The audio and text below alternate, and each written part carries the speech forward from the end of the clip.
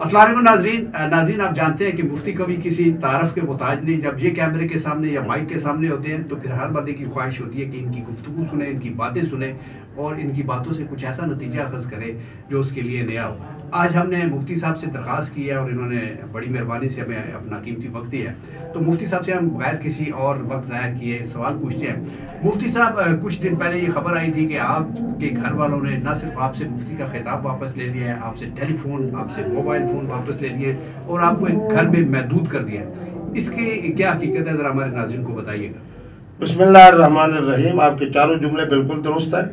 सूरत हाल असल में ये हुई कि जब पिछले दिनों एक ख़ास सानिया हुआ तो हमारे बच्चे माशाल्लाह मेरा ख़ानदान को ये एज़ाज़ हासिल है कि जहाँ हाफिज़ हैं और आलिम हैं वहाँ प्रोफेसर भी हैं और डॉक्टर्स भी हैं। तो ये तय हुआ कि मेरा नाम मुफ्ती साहब को कुछ दिनों के लिए ऐसा आ, सुकून के लिए आराम के लिए नींद पूरी करने के लिए ज़रा इनको मखसूस और महदूद सरगर्मियों तक का पाबंद कर दिया जाए और उसके मुताबिक जनाब मुफ्ती साहब सुकून से रहें। तो कुछ दवाएँ भी उन्होंने ऐसी तजवीज़ की कि जिसके अंदर जनाब मुझे बड़ी सुकून से नींद आती थी।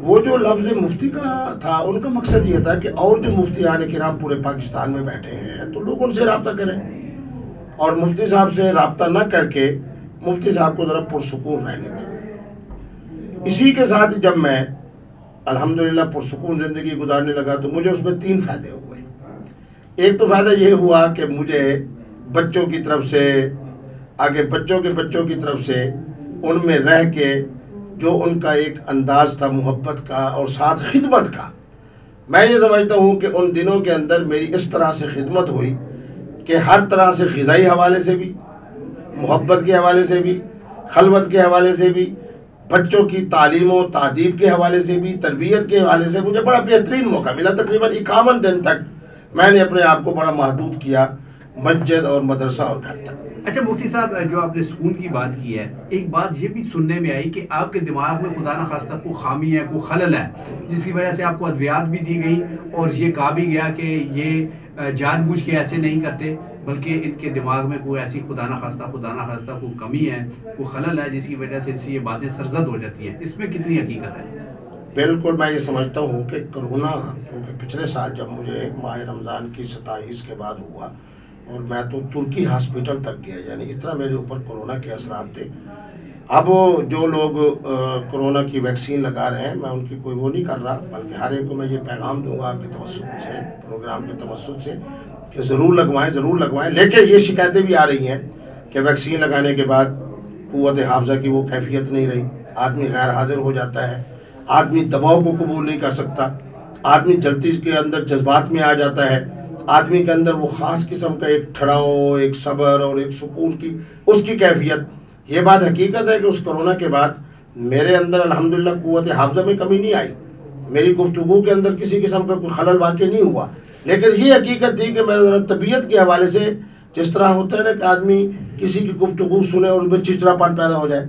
जो मेरे साथ जो सान है, उसमें हुआ ये कि दो तीन लोग जब मुझसे बार बार बार बार सवाल कर रहे हैं तो अल्लाह का कुरान कहता है कि जब नावाकिब और बेखबर लोग सलाम और आपसे बात करें तो आप लफ्ज़ सलाम कह दें, उनसे मकसद है जान छोड़ाएँ।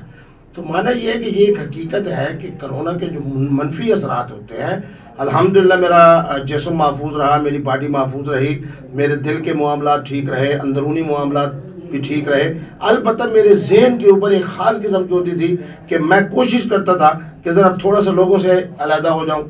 ये कोशिश करता था मतलब आप खुश थे उससे सारी सूरत हाल से। अच्छा जिस कवि साहब आप जिसको सानिया कह रहे हैं जिसको हम वाक़ कहते हैं क्या आप समझते हैं कि उससे मुफ्ती कवि की ज़ात को या उनके किरदार को या उनके मुफ्ती होने पे कोई कोई दाग लगा है कोई परेशानी हुई है और लोगों की मोहब्बत में फ़र्क आया है या लोगों की सोच में फ़र्क आया है और उनकी बातों पे उस तरीके से अमल दरामद नहीं होता या उनके जो फतलों हैं उन, उनको नहीं माना जाता जिस तरह पहले माना जाता था? देखिए जी सूरत हाल ये है कि मैं समझता हूँ कि मेरी कौम जिनको मुझसे कमाल दर्जे का की अकीदत और मोहब्बत का एक ताल्लुक है। सब ये लोग समझ रहे थे कि ये जो हमारा सोशल मीडिया है, इसमें जिस तरह सनत ने बहुत ज़्यादा तरक्की कर ली है, एक जुमला कहीं का, दूसरा जुमला कहीं का, तीसरा जुमला कहीं का, फिर उसके मुताबिक जनाब उनको जोड़ना, मैं ये नहीं कहता कि वो गलत है, मैं बिल्कुल हकीकत पसंद आदमी हूँ। बहुत सारी ऐसी बातें भी हैं जो मैंने इस हमत के साथ की कि यार मेरे जहन के ऊपर दबाव न डाला जाए, इसलिए मैं ये बात कह दूँ कि ये है ये है ये है। नुकसान मुझे इस हवाले से ज़रूर हुआ कि मुझसे सबसे ज़्यादा मेरे साथ जो प्यार है, वो है मेरे ख़ानदान को। बहरहाल उनके दिल ज़ख्मी हुए। मुझसे प्यार करने वाले, जो मोहब्बत करने वाले हैं, बहरहाल उनके दिल भी ज़ख्मी हुए। मेरा अपना दिल भी ज़ख्मी हुआ कि ये जो कुछ जनाब इस तरह का मामला किया गया है, इस मामले के अंदर यार मुझे ज़रा थोड़ा सा अपने जहन को उस जगह से निकलना चाहिए था, जिस तरह का दबाव सवालात के ज़रिए मेरे ऊपर पड़ रहा था। पर लेकिन मैं ये समझता हूँ कि अल्हम्दुलिल्लाह पूरी दुनिया से मेरे पास टेलीफोन नहीं थे मेरे बच्चों ने सुकून के लिए अपने पास रख लिए लेकिन अल्हम्दुलिल्लाह वो सुनते रहे उनके अपने बयान ये थे कि हज़ारों की तादाद में पूरी दुनिया से जो टेलीफोन आए वो यही कह रहे थे कि मुफ्ती साहब की सेहत कैसी है मुफ्ती साहब की आजकल तबीयत कैसी है यार मुफ्ती साहब को हमारी तरफ़ से सलाम पेश करना मुफ्ती साहब को यह कहना कि घबराने की ज़रूरत नहीं है मुफ्ती साहब आप यूँ हैं और वो यूँ यूँ यूँ यूँ यूँ यूँ यूँ हैं पर फिर उसके बाद जब मैं इक्यावन दिन के बाद अलहमदिल्ला फिर हमने अपनी इस्लामी अदालत के हवाले से दोस्तों से मिलने के हवाले से सफ़र करने के हवाले से मुख्तलिफ़ एक्टिविटीज़ में शादियों में गए और जनाब दावत वलीमा में गए और सब चीज़ में गए मिली ठीक है। उससे ज़्यादा पजीराई मिली। ज़्यादा पजीराई मिली। अच्छा मुफ्ती साहब मुझे ये बताइए कि आप समझते हैं कि ये जो आपका तर्ज अमल है या जो आपकी ये खुले अंदाज में गुफ्तु करना ब्लंट होना इसमें कोई आप अपनी गलती भी तस्वर करते हैं कि आपको इस तरह नहीं होना चाहिए, इस सारे एपिसोड के लिए, साने के लिए आपकी गलतियाँ भी इसमें शामिल हैं? देखिए जी ये तो एक हकीकत है कि मुफ्ती अब्दुल कभी मासूम नहीं। मुफ्ती अब्दुल कभी इंसान है और इंसान होता हुई है। जिसके अंदर निसियान भी हो, यानी भूल जाने वाली बात भी हो। और फिर यह है कि इंसान को जो अल्लाह तबारक वाली ने जिन अनासर अरबा से पैदा किया है उसके ऊपर जो तबसरा पहले सिपाही के अंदर मलाइका और फरिश्तों ने हमारी तख्लीक पर किया है वो सबके सामने उसका मैं इनकार नहीं कर सकता। अम्बियाम की ज़ात मुकदसा ऐसी होती है जो मासूम होती है। लेकिन उसको भी जब हम कुरान हकीम के तनाजुर में देखते हैं हज़रत आदम के बारे में भी तो बहुत सारे ऐसे अल्फाज इस्तेमाल हुए हैं। हम उनके मासूम होने के वाले से उसकी ज़रा इल्मी तोजी कर लेते हैं। इसी तरह हज़रत यूसुफ का इस्लाम का वाक़ आता है इसी तरह हज़रत इब्राहिम का। बहरहाल मुफ्ती अब्दुल कवी इस हकीकत को तस्लीम करता है कि मुफ्ती अब्दुल कवी बहसीत इंसान होने के। हो सकता है कि बहुत सारे लोगों के लिए, जहाँ कोई थोड़ा सा हसन जमाल का मामला हो, चाहे वो स्टूडियो की सूरत में हो, चाहे घर की सूरत में हो, चाहे वो ख़वातीन की सूरत में हो, चाहे बच्चों की सूरत में हो, चाहे जिस तरह के भी हो, वहाँ मुफ्ती अब्दुल कवी एक नरम गोश रखता हो। मुफ्ती अब्दुल कवी अपनी ज़बान के ज़रिए से एक मीठी बात करने का ख्वाहिशमंद हो, ताकि पता चले कि इस्लाम जो है वो एक मेरा मीठा दीन है। हो सकता है कि जो शोभा जात ज़िंदगी के ऐसे हैं जिनमें मैं महसूस करता हूँ कि यहाँ जुल्म जबर है, उनकी मैं तायद में बहुत आगे तक निकल जाता हूँ। जिन अफराद के बारे में और जिन शख्सियात के बारे में और जिन इदारों के बारे में मैं समझता हूँ कि ये मजलूम तबक़ात हैं, उनके बारे में शायद मैं बहुत ज़्यादा आगे चले जाता हूँ, उनके तामुन के बारे से। बहरहाल, एक हकीकत है जो मुझे माननी चाहिए कि मुफ्ती अब्दुल कवी बहसीत इंसान होने के चाहे मैं आलिम बन जाऊँ मुफ्ती हूँ मुहदस हूँ फ़कीर हूँ मेरे मुरीदीन का एक बहुत बड़ा हल्का है इसके बावजूद मेरे ये भी यकीन होना चाहिए मेरे देखने वालों को भी मालूम होना चाहिए कि मुफ्ती अब्दुल कवी को बहसीत इंसान के देखें ओके okay. बहसीत मासूम के ना देखें और मैं मासूम नहीं हूँ इसलिए मैंने इन इक्यावन दिनों के अंदर तहजद के नवाफिल के अंदर जो कुछ अल्लाह की बारगाह में हाजिर होकर कान पकड़ कर सीधा रेज होकर कही कि क्या अल्लाह तेरे नबी की तरफ़ से ये खुशखबरी है कि अगर समुंदर की झाग के बराबर भी गुनाह हो तो यह अल्लाह हमारी गुनाहों को माफ़ फरमा। और साथ मैंने ये जुमले भी कहा, जो लोगों ने बड़ा पसंद किया, मैंने कहा जिन जिन लोगों के दिल दुखे हैं और उनकी तादाद भी लाखों और करोड़ों में है, सबसे जनाब मैं माजरत करता हूँ इसलिए कि मुफ्ती अब्दुल कबीर इस हकीकत को तस्लीम करता है कि बहुत सारे हमारे बच्चों के, बुज़ुर्गों के, मुझसे प्यार करने वालों के, मुझसे ताल्लुक़ रखने वालों के, मुझसे खानका से वाबस्ता लोगों के बहरल दिल ज़ख्मी हुए हैं। और उनके दिल जो है, उनसे मैंने जो कुछ उनको जहनी तौर के ऊपर शाख पहुँची है, उसके ऊपर मैंने कहा, मैं उनसे माजरत करता हूँ, माजरत करता हूँ और आइंदा के लिए इन एक अज़म है। अल्लाह की बारगाह में भारत इंसान से ठोकर फिर लग जाती है। बहुत ज़्यादा मोहतात रहना है। अब अब खातन के अब भी फ़ोन आते हैं, मुफ्ती साहब वो इस्तारा करना है, मुफ्ती साहब फुला का मसला है। बड़ा मैं मोहतात होकर फिर बात भी यहीं से करता हूँ कि मेरी बेटी मेरी बेटी मेरी बेटी, अगर कोई ऐसा फ़ोन आ जाए, अब पिछले दिनों के अंदर कहा गया जी, हरीम शाह साहब ने जनाब टेलीफोन किया है, मुफ्ती अब्दुल कभी को ईद मुबारक दिया तो मेरे पास तो किसी का नंबर सेव नहीं। अब एक मोहतरमा कहती है वालेकुम मुफ्ती साहब, क्या हाल है? आपको ईद मुबारक ईद मुबारक ईद मुबारक। मैंने जवाब में कह दिया जी, खैर मुबारक, और नंबर बंद कर दिया।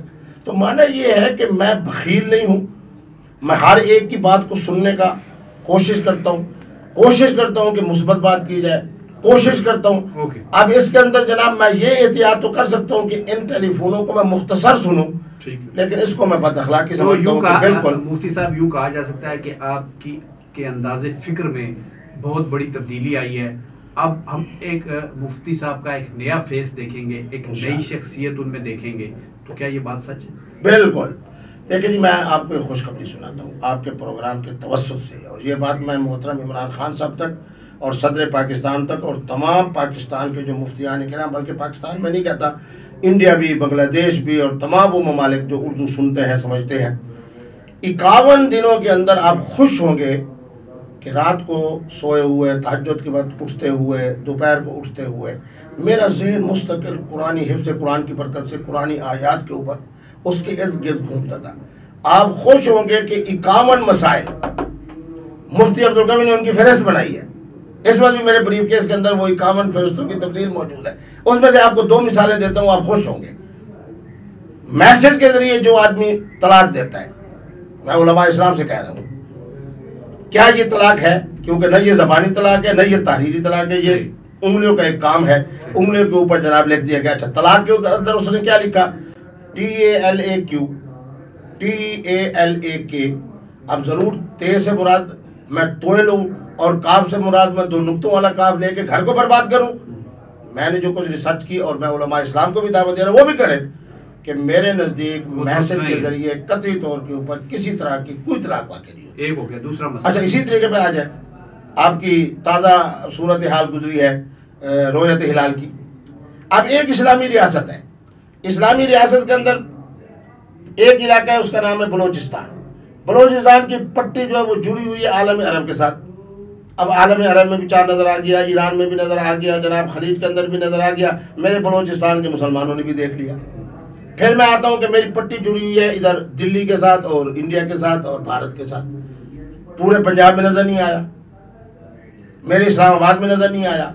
अब इस सूरत हाल के अंदर एक ऐसी इस्लामी रियासत जिसका वसत के हवाले से इधर भी जुड़ा हुआ है इलाका जोग्राफी सतह पे जहाँ एक दिन पहले चाँद नज़र आता है। उस इलाके से भी जुड़ा हुआ है यहाँ एक दिन बाद चाँद नज़र आता है। अब इस सूरत हाल के अंदर पाकिस्तान की पूरी इस्लामी रियासत को या तो हम चाँद को भी चार सूबों के हवाले से तकसीम कर दें। जिस तरह इस दफ़ा हुआ मुझसे जनाब रोहित लाल कमेटी के लोग मुझसे रबते में रहे। मैंने कहा या तो आप ये ऐलान करें कि सूबा खैबर पख्तूनख्वा के लोग भी ईद बनाओ सूबा बलोचिस्तान के अंदर जी फुला फुला, चमन फलां, फुला फुला फुला फुला, उसमें चाँद नज़र आ गया है और डिस्ट्रिक्ट में आ जाओ तो जनाब मीरपुर खास में नज़र आ गया है। ये लोग तो मनाए ईद। फिर चूँकि पूरे सूबा पंजाब में नज़र नहीं आया, मेरे मरकज इस्लामाबाद में नज़र नहीं आया, इसलिए ये लोग जनाब एक दिन बाद एक तो ये हो सकता है इश्तिहादी मसला।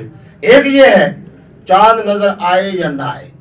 एक इस्लामी रियासत के अंदर, एक खत्े के अंदर चाँद की रोयत और उसकी शहादत पूरे एक इस्लामी रियासत में वादत का सबूत दे, जिस पर जिस तरह सजवा अमल हुआ। लोगों ने मुझसे टेलीफोन करके पूछा कि बाद हजरात कह रहे हैं, जी जुमे वाले दिन जनाब। मैंने कहा, जब उनके नज़दीक जुमा ईद का दिन है तो उसके अंदर फिर रोज़ा रखने का क्या माना? फिर एहतिकाब में बैठने का। फिर उनको ख्याल है ओ ये तो गलत होगा कहने लगा, नहीं जी, नहीं नहीं नहीं जुमे वाले दिन ईद पढ़े और हफ़्ते वाले दिन जाके एक दिन। मैंने कहा, उनतीस का दिन पूरा हो चुका दोबारा जनाब। बात यह है कि ये वो इश्तिहादी मसाइल है, जिन पर हमें सोचना है। और उलमा इस्लाम ने सोचना है। ठीक है। इसी तरीके में देख लें तीसरा मसला मैं बयान कर देता हूँ। तीसरा मसला ये है कि इस वक्त जो इस वक्त इंसानी अकदार की कैफियत है उनके अंदर साइंस ने बहुत बड़ी तरक्की कर ली। आवाज़ मेरी है चेहरा किसी और का है।